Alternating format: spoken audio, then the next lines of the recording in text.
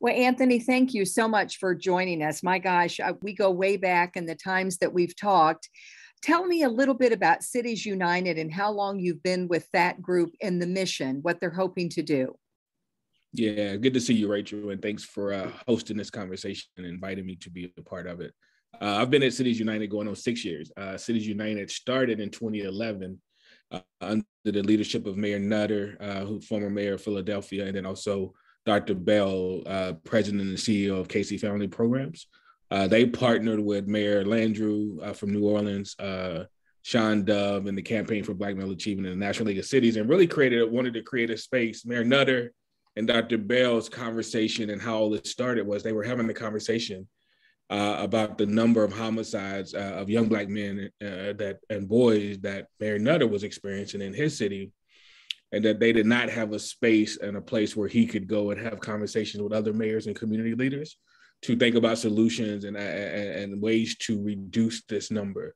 Uh, so they created Cities United uh, at launch again in, in, in 2011, actually uh, October the 6th of 2011. So our 10 year anniversary is coming up.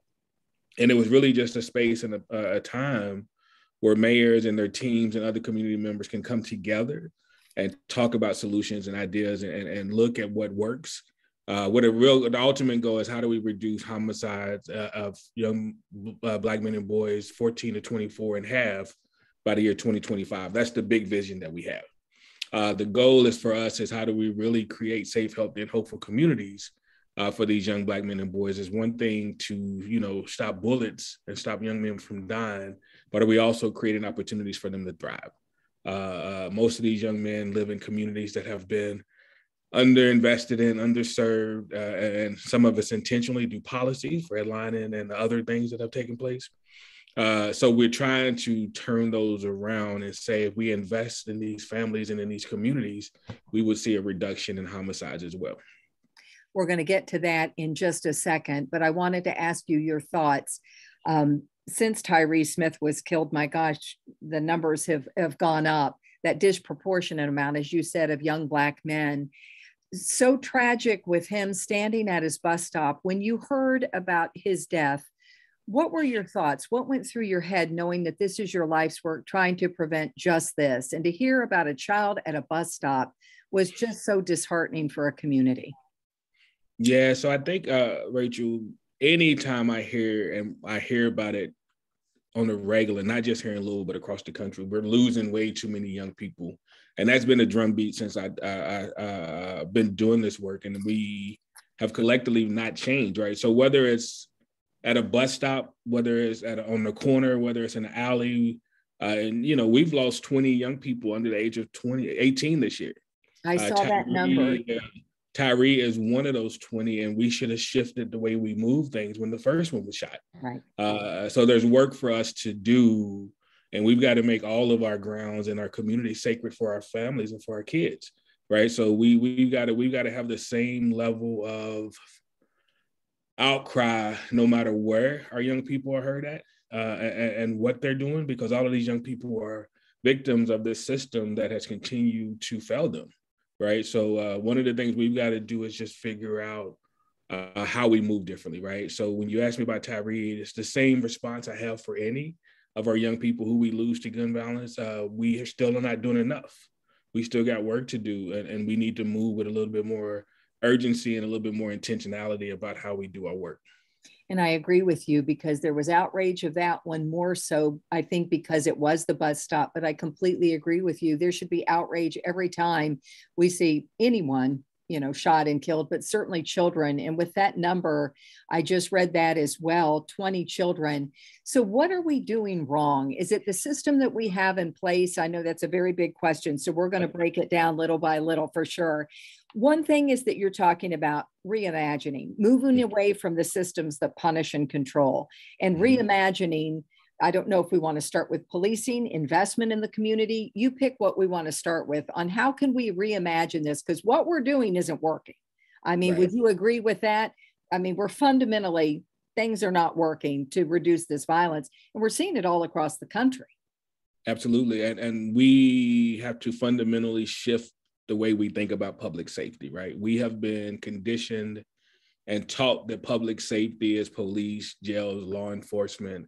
With those are the things that are reactionary. And what really keeps us safe is making sure that folks can be in affordable and safe housing. Uh, folks can uh, have transportation uh, that gets them to and from, that folks have access to quality healthcare, that folks can actually go to the store and buy food to eat, uh, uh, mm-hmm. that folks can uh, um, find quality jobs with benefits. So those are the things that really keep us safe. And we've invested in the other thing and not truly invested in the things that truly keep us safe, right? So you know, we've had conversations, Rachel, in this community forever about vacant and abandoned properties, around the lack of transportation and, and, and, and how folks can maneuver through the city, the lack of jobs in the communities where most of these shootings are happening, right? So we've and the lack of educational outcomes that happen in those communities too, right? So we've known all of this for decades.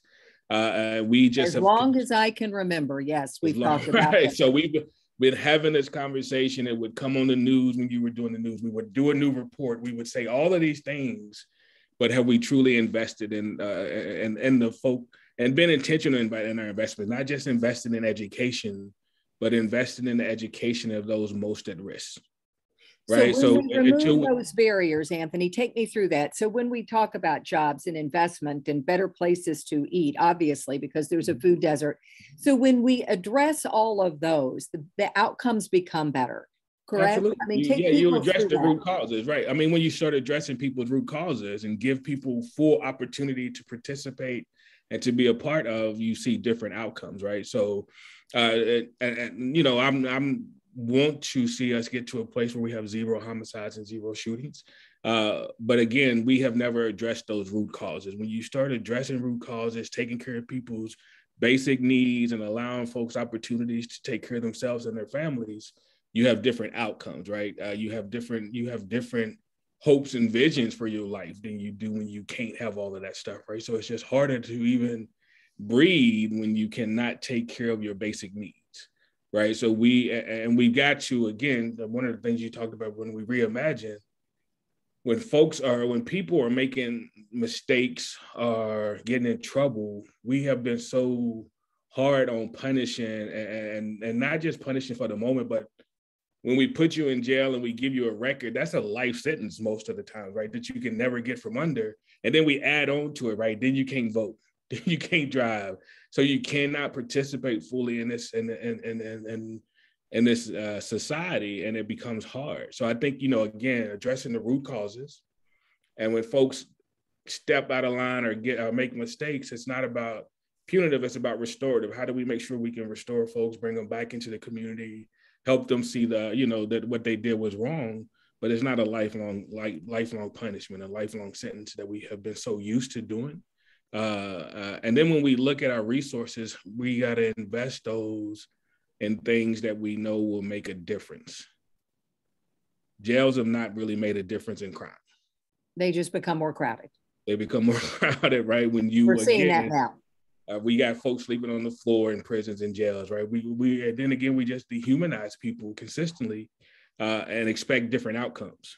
So to view it through the lens almost of a public health crisis, I know that Absolutely. has come up over and over and over again because that's what we're in the middle of, of as well. And I've even seen people saying, you know, as much as we do um, these COVID news conferences. Shouldn't mm-hmm. we be doing something like this? What is our pronged approach for this to see those different outcomes?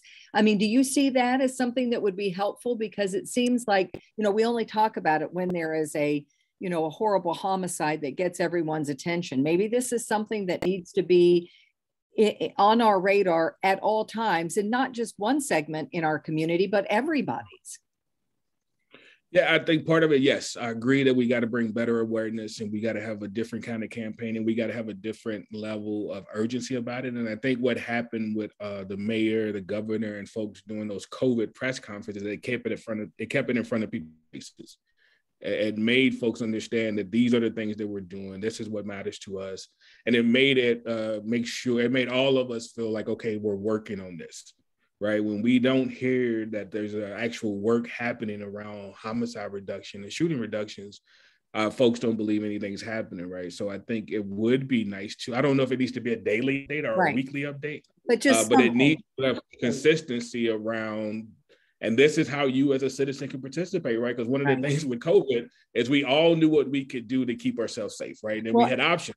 Exactly. And it's accountability. It, Absolutely. It's, it's, accountability to the programs that we have out there as well. I wanted to touch on a couple of things since we're seeing this with young people. You know, we've got such a proliferation of guns that it's not hard for anybody to get a hold of them. I, I, am assuming we still have a gang problem. I mean, I've been covering that as long as I remember as well. So, what do we do with boots on the ground to help take care of those things, Anthony? I, I know there, you know, we've talked about different programs that are in place. What do you see as the effective to meet kids where they are to try to change these outcomes? Yeah, so I think again it goes back. There's a number of things. One, you know, where and how are, is the school system showing up for these young people? Right. We we know who's at risk. We know who's in trouble, uh, and how is the school system shifting their resources to have more uh, school counselors, more school resources, folks who can be a part of it. Uh, but then also, what is community doing? You have organizations like No More Red Dots with Dr. Woods. You have Pivot to Peace. Uh, you have a number of organizations and places, uh, Urban League and people who have actual folks in the in the community. Uh, but the, the, the big thing is that the interruption work that Dr. Woods and his team does is the key. They understand who's at odds with each other, who's at beef mm-hmm. with each other, and know how to do uh, conflict resolution and mediation in that, so that we can really get uh, uh, folks to put down the guns and, and, give folks some space to breathe so that they can figure out what the conflict's about and how to resolve it without using the gun, right? We need way more of that in Louisville, uh, and we just don't have the right capacity right now, right? Dr. Woods and his team are a small team, uh, and and they need more.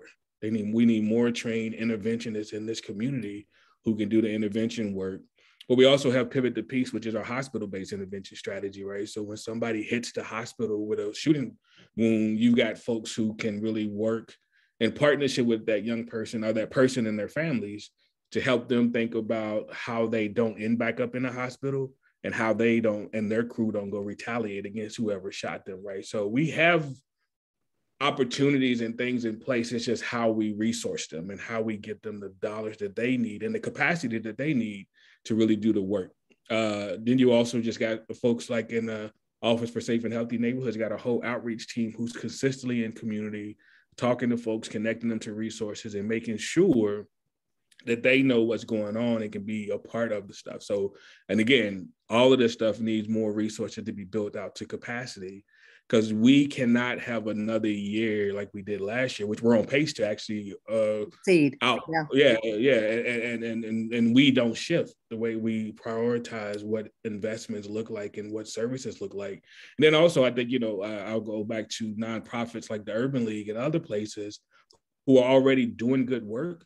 Uh, uh, need other folks to send people their way, making sure that these young people and people who are in are, are most impacted got wraparound services around them too, right? It's one thing again to stop that conflict, but then I got to make sure I can connect you to resources to get you to the outcomes you're looking for. Most of these young people, when you talk to them, are looking for jobs, looking for housing, looking to go to school, and just don't have the right connections and the right resources to do that. And we as a community have all of those resources and can move differently if we choose to. So let me ask you, because it's like until we reimagine them, that that has been the mantra we've we've heard. How frustrated are you? It's like we're just not. Are we just not getting it? Is it not resonating with enough people, the right people? Are we not stepping up as a community to say all hands on deck? This is a community wide issue all of that. Frustrated, yes. Check. We're not We're not doing fast enough. That we don't all believe that this is a community-wide initiative, right? We don't believe there's a lot of folks in Louisville who don't think about these shootings on a daily, right? And don't are not concerned with this in a way that they should be, right? Because again, it's happening to predominantly young black men and boys and women in the West End and a lot of us never even have to go down there never even have to see uh, what this looks like and feels like right so i think to this uh, until this community can understand that these incidents impact all of us and that all of these kids are our kids and all these folks are our people and we should all care so i think it's part of that and again it goes back to that mental model around what public safety is and who deserves to live, who does not deserve to live. They put themselves in harm's way. So they knew what they were doing, but folks, uh, people forget to realize, and folks forget to realize that lack of opportunity creates these kind of environments. Lack of disinvestment creates these environments. Lack of isolation creates these environments. And, and, and until we shift that and change that, uh, we're not going to move differently. So yeah, I think it's the frustration is on all levels of uh, leadership who have not figured out how to come together and work together uh, as a collective to say this is an issue and it's not a political issue. It's an issue that we just need to work through. Uh, we all can have difference of opinions of what it looks like, but we need a system in place and we need to create a system where everybody can participate in, everybody can be a part of uh, and move, right? So frustration with local elected officials, frustrated with the systems that could be different from the school system to uh, any other system, but also uh, saying to philanthropy, you need to be here, right? You need to invest your dollars. And then to the business community, you need to invest your resources as well. And not only into the people, but into the places that are most impacted by this. And we have just continued, continually turned our, our blind eye and, and said, it's not happening in my community, it's not happening to my kids uh, so I can move forward and, and, my life is okay. I've seen a little bit of a glimmer and a little bit of a change in that thought process, and maybe just with more and more talk and starting to see a little bit more investment. I hope that is the trend that continues. I'm seeing the beginnings of it. Would you agree or no? Oh, absolutely. I think you know with the investment that the uh, uh, Metro made in the Office for Safe and Healthy Neighborhoods this year. You know, the office has been around since 2013 when I was uh, when I helped opened it, and we've never it's never had a budget that really that it that really helped do it do what it needs to do. And this year it finally got a 4.2 million dollar budget. Uh, which is uh, is historic for this for the city, but it should have always had that kind of budget. right. And business do believe- seem to be getting a little bit more about investment. Uh, that you see some things coming that I'm hoping down the pike will will prove to be true. I'm hopeful. I'm hopeful, and uh, philanthropy's having conversations. Uh, uh, but I think part of it, though, Rachel, is that we can no longer continue just to have conversations. We just got to oh, move. Action. We had a right. We had a plan uh, uh, when Dr. Nesbitt and Dr. Hudson put together the plan in 2012 that called for the creation of the Office for Safe and Healthy Neighborhoods and a team that works on it. That plan is still relevant to this day, right? If we go back and look at what that plan said, it still has all of the things that you and I just talked about that we have not realized yet, right? And then you go to the office created a plan, the One Love Louisville plan. It has a lot of strategies in there. Then you look at the path forward, right? There's all of these plans that are sitting and just waiting for investment. Right that we don't need to have another conversation about, right? Yeah. We just need folks to move and act uh, and say, I care, and here's, here's how I'm gonna show that I care, right? Either I'm gonna come down and spend some time mentoring in one of the spaces where I know I'm needed, or, or I'm gonna support and put money into this, or whatever it is. This is the time for us to act and not sit back and have more conversations. But I do believe, you know, with the with, when the when Breonna Taylor was murdered, we saw this community come out in ways that we never have before. Mm-hmm. When we talk about who showed up at protests, where protests was held, and who was leading those protests, uh, changed the course of this city. And hopefully, to your point, that helps people understand that all of this is interconnected, right? You can't have police violence without community violence. They're connected in ways that we need to talk about because they all come from the same, they stem from the same thing structural racism and systemic racism that has created this environment. So now we have people who are paying attention, people who are listening, and they've got to understand that we have police violence, but we also have community violence that we both all need to be paid attention to. Uh, and we need folks to think about that the same way they did with the with the murder of Breonna Taylor. You talked about action and totally agree with you on that. Give me two or three things that anybody who might see this, if they're going, you know, I I want to do something, but I don't know what to do. Give me mm-hmm. three things that people can do because I saw that call from Jecorey Arthur, and it's like everybody needs to step up and do something. We just can't sit and talk about this anymore. So give me some action items. Yeah, so one, I would call the Office for Safe and Healthy Neighborhoods, uh, talk to Monique and her team. She, during that same press conference, listed out a number of opportunities for folks to uh, to be in, uh, to get engaged. I think the Courier Journal actually just took that clip and put it out a couple of a couple of days ago. So one, uh, find out what's happening and, and, and get involved in that. So support the Office for Safe and Healthy Neighborhoods, call Monique. They have a ambassador program where they actually walk community members through what it what uh, community violence prevention look like, how to do all of the work that they're talking about, conflict resolution.